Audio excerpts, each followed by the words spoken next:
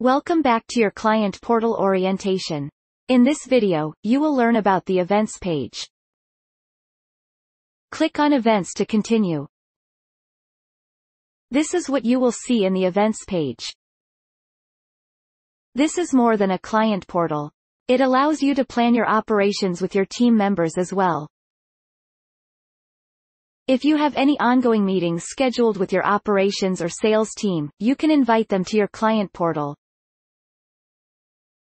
This is particularly useful for companies who send their staff to go out to meet clients regularly, where you need a lot of scheduling. This is completely optional as you have other options such as Google Calendar, email or WhatsApp communication within your team. Let's go ahead and create a new event. Click on New Event. This is what you will see when you click on New Event. Enter your event title. For example, Meeting with XYZ Company. Enter the start date, time and end date, time. You can have an option to choose for all day. Also, remember to enter the location. Enter the event's details here. For example, sales meeting. You can invite your team members to join you at this meeting. You can set a reminder for yourself, or set it as a recurring event. Click on Create when you are done.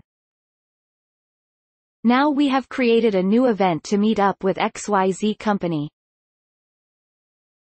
Your event will appear in this calendar as shown here. Again, this is completely optional.